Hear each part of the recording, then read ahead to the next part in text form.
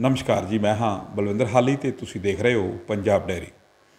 ਕਿਸਾਨ ਅੰਦੋਲਨ ਦੇ ਵਿੱਚ ਦਿੱਲੀ ਦੇ ਬਾਰਡਰਾਂ ਤੇ, ਜਿੱਥੇ ਪੰਜਾਬੀ ਗਾਇਕਾਂ ਦੇ ਗੀਤ ਗੂੰਜਦੇ ਆ, ਉੱਥੇ ਗਾਇਕਾਂ ਦੇ ਕਾਫਲੇ ਵੀ ਕਿਸਾਨਾਂ ਦਾ ਹੌਸਲਾ ਵਧਾਉਣ ਲਈ ਲਗਾਤਾਰ ਪਹੁੰਚ ਰਹੇ ਹਨ। ਅੱਜ ਪੰਜਾਬੀ ਗਾਇਕ ਰਵਿੰਦਰ ਗਰੇਵਾਲ ਟਿਕਰੀ ਬਾਰਡਰ ਤੇ ਪਹੁੰਚੇ ਅਤੇ ਉਹਨਾਂ ਨੇ ਆਪਣੇ ਕੁਝ ਗੀਤਾਂ ਦੇ ਨਾਲ ਕਿਸਾਨਾਂ ਨੂੰ ਉਤਸ਼ਾਹਿਤ ਕੀਤਾ ਤੇ ਨਾਲ-ਨਾਲ ਕਿਸਾਨਾਂ ਨੂੰ ਡਟੇ ਰਹਿਣ ਲਈ ਵੀ ਕਿਹਾ। ਉਹਨਾਂ ਕਿਹਾ ਕਿ ਸਾਡੀ ਦੀਵਾਲੀ ਉਸ ਦਿਨ ਹੀ ਹੋਵੇਗੀ ਜਦੋਂ ਅਸੀਂ ਜਿੱਤ ਕੇ ਘਰਾਂ ਨੂੰ ਜਾਵਾਂਗੇ। ਹੋਰ ਕੀ ਕਿਹਾ ਰਵਿੰਦਰ ਗਰੇਵਾਲ ਨੇ? ਆਓ ਸੁਣਦੇ ਹਾਂ ਤੇ ਨਾਲ ਸੁਣਦੇ ਹਾਂ ਕਿਹੜੇ ਗੀਤਾਂ ਨਾਲ ਕਿਸਾਨਾਂ ਨੂੰ ਉਤਸ਼ਾਹ ਦਿੱਤਾ ਤੇ ਜੋਸ਼ ਭਰਿਆ ਉਹਨਾਂ ਦੇ ਵਿੱਚ। ਹਾਂਜੀ ਹਾਂਜੀ। ਲੌਂਗ ਲੌਂਗ ਸੋ ਇੰਨਾ ਸਕੂਨ ਆ ਇਸ ਧਰਨੇ 'ਚ। ਜਿਵੇਂ ਤੁਸੀਂ ਮੰਦਿਰ 'ਚ ਜਾਂਦੇ ਹੋ, ਮਸਜਿਦ 'ਚ ਜਾਂਦੇ ਹੋ, ਗੁਰਦੁਆਰੇ ਜਾਂਦੇ ਹੋ ਮੈਂ ਦਿਲੋਂ ਮਹਿਸੂਸ ਕਰਦਾ ਉਹ ਜੀਆਂ ਤੁਹਾਨੂੰ, ਤੁਹਾਡੇ ਦਿਲੋਂ ਤੁਹਾਨੂੰ ਇਹੋ ਜੀਆਂ ਇੱਥੋਂ ਜੋ ਭਾਵਨਾਵਾਂ ਨੇ ਉਹ ਜੀਆਂ ਤੁਹਾਨੂੰ ਮਿਲਦੀਆਂ ਕਿ ਤੁਸੀਂ ਬਹੁਤ ਚੰਗੇ ਥਾਂ ਤੇ ਆਏ ਕਿਉਂਕਿ ਗਾਉਣ ਵਾਲੇ ਲੱਭਣੇ ਬਹੁਤ ਔਖੇ ਆ, ਸਾਡੇ ਵਾਲੇ ਪੈਸੇ ਬਹੁਤ ਮੰਗਦੇ ਆ। ਇੱਥੇ ਆਉਂਦੇ ਆ ਨਾ ਆਪਣੇ ਆਪ। ਕੌਣ ਖਿੱਚ ਕੇ ਲਿਆਉਂਦਾ? ਇਹ ਧਰਨੇ ਦਾ ਜਿਹੜਾ ਸਕੂਨ ਮਿਲਦਾ ਇੱਥੇ ਆ ਕੇ, ਕਿਉਂਕਿ ਦਿਲ ਨੂੰ ਇੱਕ ਤਸੱਲੀ ਹੁੰਦੀ ਆ ਕਿ ਤੁਸੀਂ ਚੰਗੀ ਜਗ੍ਹਾ ਤੇ ਜਾ ਕੇ ਆਏ ਹੋ। ਤੁਸੀਂ ਸੱਚੇ ਸੁੱਚੇ ਲੋਕਾਂ ਦੀ ਸਪੋਰਟ ਕਰਕੇ ਆਏ ਹੋ ਜਿਹੜੀ ਦਿਲ ਨੂੰ ਜੋ ਸਕੂਨ ਮਿਲਦਾ ਸੋ ਉਹ ਇਹ ਧਰਨਾ ਦੇ ਔਰ ਔਰ ਉਹ ਪੋਜ਼ਿਟਿਵਿਟੀ ਤੁਹਾਡੇ ਚੋਂ ਜਾ ਰਹੀ ਹੈ ਕਿਉਂਕਿ ਤੁਸੀਂ ਇਨੋਸੈਂਟ ਭੋਲੇ ਭਾਲੇ ਲੋਕ ਸੋ ਧਨੇਰ ਸਾਹਿਬ ਕਹਿੰਦੇ ਗਾਣੇ ਦੋ ਤਿੰਨ ਸੁਣਾ ਦਿਓ। ਸੋ ਆ ਬਹੁਤ ਵਧੀਆ ਗਾਉਂਦੇ ਆ, ਮੈਨੂੰ ਅੱਜ ਪਤਾ ਲੱਗਿਆ। ਹੈ ਜੀ? ਕਿ ਓਏ ਤੇਰੀ ਚੰਦਨ ਵਰਗੀ ਧਰਤ ਨੂੰ ਬਹਿ ਕੇ ਮਾਰ ਲਪੇਟਾ ਨਾਗ। ਤੇਰੇ ਖੇਤ ਨੂੰ ਬਗਲੇ ਪੈ ਗਏ। ਓਏ ਤੇਰੇ ਘਰ ਨੂੰ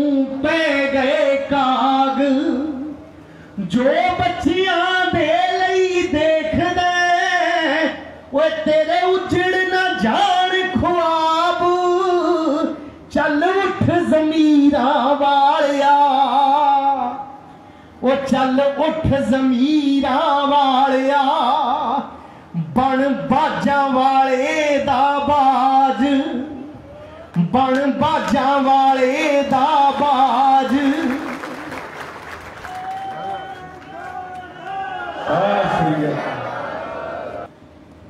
ਕਿ ਉਹ ਆ ਕੇ ਦਿੱਲੀ ਬੈਠ ਗਏ ਜਿਨ੍ਹਾਂ ਹਿਰਦੇ ਵਿੱਚ ਵੈਰਾ ਕਦੇ ਰਾਮਿਆ ਯੋਧੇ ਜੰਗ ਚੋਂ ਨਹੀਂ ਤੱਕਦੇ ਹਾਨੀਆਂ।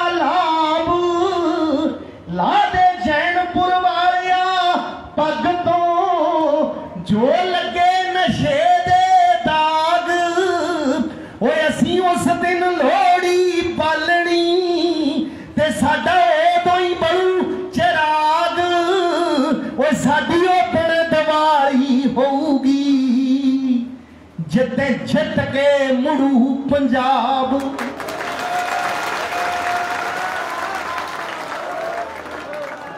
ਓਏ ਸਾਡੀ ਉਦਣ ਦੀਵਾਲੀ ਹੋਊਗੀ, ਜਿੱਤੇ ਜਿੱਤ ਕੇ ਮੁੜੂ ਪੰਜਾਬ। ਕਿਉਂਕਿ ਕਈ ਵਾਰੀ ਇਹਨਾਂ ਨੂੰ ਲੱਗਦਾ ਸੀ ਕਿ ਖੇਤਾਂ 'ਚ ਕੰਮ ਕਰਨ ਵਾਲੇ ਲੋਕ ਆ, ਮਜ਼ਦੂਰ ਨੇ, ਕਿਸਾਨ ਨੇ, ਇਹਨਾਂ ਨੂੰ ਕੀ ਪਤਾ ਲੱਗਣਾ ਕਿ ਕਾਨੂੰਨਾਂ ਦੇ ਵਿੱਚ ਕੀ ਲਿਖਦਾ ਇਹਨਾਂ ਨੂੰ ਇੰਨੀ ਸਮਝ ਨਹੀਂ ਸੀ ਕਿ ਕਿਸਾਨਾਂ ਨੇ, ਮਜ਼ਦੂਰਾਂ ਨੇ ਉਹ ਵੀ ਪੜ੍ਹ ਲੈਣਾ ਜਿਹੜਾ ਕੁਝ ਇਹਨਾਂ ਨੇ ਕਾਨੂੰਨਾਂ 'ਚ ਲਿਖਿਆ ਨਹੀਂ। ਕਿਉਂਕਿ ਤੁਸੀਂ ਇਹਨਾਂ ਦੀ ਨੀਅਤ ਦੇਖ ਲਈ, ਨੀਅਤ। ਨੀਤੀ ਦੇ ਨਾਲੋਂ ਨੀਤ ਮਾੜੀ ਆ ਕਿ ਪਿੱਛੇ ਚਾਹੁੰਦੇ ਕੀ ਆ ਕਿ ਹੌਲੀ ਹੌਲੀ ਬਦਲਦਾ ਬਦਲਦਾ ਕਿਵੇਂ ਬਦਲ ਜੂ, ਕਿਵੇਂ ਤੁਹਾਡੀ ਜ਼ਮੀਨ ਥੋਤੋਂ ਖੋਈ ਜਾਊ। ਇੱਕਦਮ ਨਹੀਂ ਹੋਣਾ, ਪਰ ਹਾਲਾਤ ਇਹੋ ਜਿਹੇ ਬਣਾ ਦੇਣਗੇ ਕਿ ਬੰਦਾ ਆਪ ਹੀ ਹੱਥ ਜੋੜ ਕੇ ਨਿਕਲ ਜੂਗੇ, ਜੀ, ਤੁਸੀਂ ਹੀ ਕਰ ਲਓ। ਮੇਰੇ ਤਾਂ ਬਸ ਦੀ ਖੇਤੀ ਰਹੀ ਨਹੀਂ। ਕਿਉਂਕਿ ਮਾਹੌਲ ਇਹੋ ਜਿਹਾ ਬਣਾ ਦੇਣ ਪਰ ਉਹ ਤੁਸੀਂ ਸਮਝ ਲਿਆ। ਔਰ ਹੁਣ ਗੱਲ ਕੀ ਹੋ ਗਈ? ਕਿ ਲਾ ਕੇ ਬਿਜ਼ਨਸ ਮੈਨਾ ਨਾਲ ਸਕੀਮਾਂ ਨੀ ਤੂੰ ਧੱਕੇ ਦੇ ਨਾਲ ਖੋਣ ਨੂੰ ਫਿਰੇ ਜ਼ਮੀਨਾਂ ਨੀ ਉਹ ਲਾ ਕੇ ਬਿਜ਼ਨਸ ਮੈਨਾ ਨਾਲ ਸਕੀਮਾਂ ਨੀ ਤੂੰ ਧੱਕੇ ਦੇ ਨਾਲ ਖੋਣ ਨੂੰ ਫਿਰੇ ਉਹ ਸਾਨੂੰ ਵਾਂਗ ਸਪੇਰੇ ਫਿਰੇ ਕੀਲ ਦੀ ਦਿੱਲੀਏ ਤੂੰ। ਤੇ ਸਾਡਾ ਹਰ ਕੰਮ ਹੁੰਦਾ ਗੁਰੂ ਨਾਨਕ ਦੇ ਆਦਰ ਤੇ। ਓਏ ਹੁਣ ਤਾਂ ਆਪਣੇ ਹੱਕ ਲੈ ਕੇ ਹੀ ਉੱਠਣਗੇ। ਜੱਟ ਕੁੰਡਲੀ ਮਾਰ ਕੇ ਬਹਿ ਗਏ ਟਿਕਰੀ ਬਾਰਡਰ ਤੇ। ਸਾਥੀਆ ਓਏ, ਹੁਣ ਤਾਂ ਆਪਣੇ ਹੱਕ ਲੈ ਕੇ ਹੀ ਉੱਠਣਗੇ।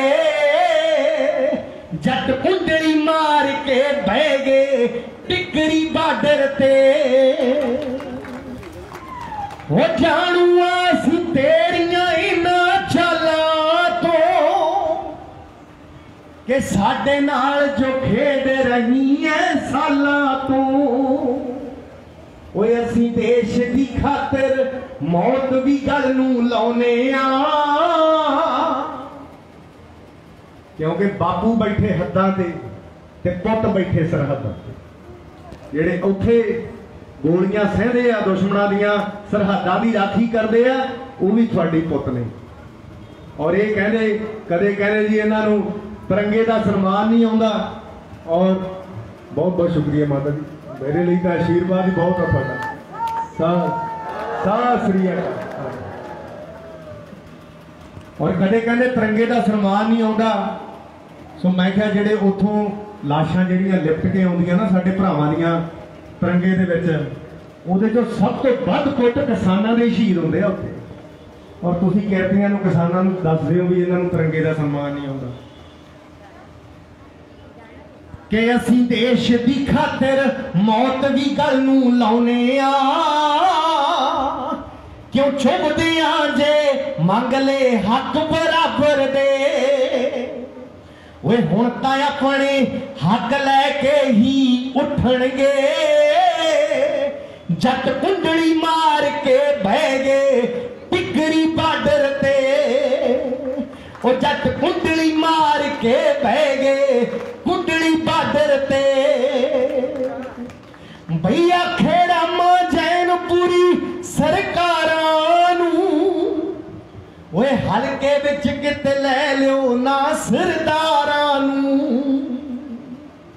ਹੋ ਆਖੇ ਰਾਮਾ ਜੈਨਪੁਰੀ ਸਰਕਾਰਾਂ ਨੂੰ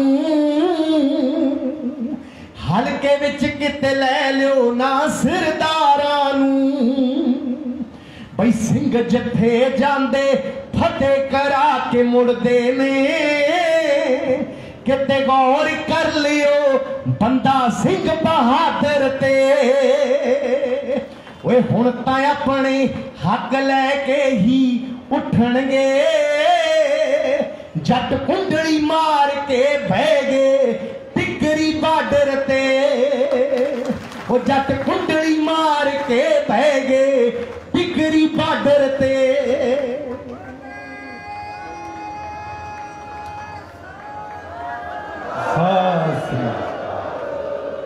ਇੱਕ ਵਾਰੀ ਤੁਹਾਨੂੰ ਬੇਨਤੀ ਕਰ ਦਵਾਂ ਕਿ ਅਗਰ ਤੁਸੀਂ ਸਾਡੇ ਚੈਨਲ ਤੇ ਅੱਜ ਨਵੇਂ ਹੋ ਤੇ ਹਾਲੇ ਤੱਕ ਸਾਡਾ ਚੈਨਲ ਸਬਸਕ੍ਰਾਈਬ ਨਹੀਂ ਕੀਤਾ ਤਾਂ ਕਿਰਪਾ ਕਰਕੇ ਇਸ ਨੂੰ ਸਬਸਕ੍ਰਾਈਬ ਕਰ ਲਓ ਤਾਂ ਕਿ ਜਦੋਂ ਵੀ ਅਸੀਂ ਕੋਈ ਵੀਡੀਓ ਪਾਈਏ ਤਾਂ ਤੁਹਾਨੂੰ ਉਸ ਦਾ ਪਤਾ ਲੱਗ ਸਕੇ।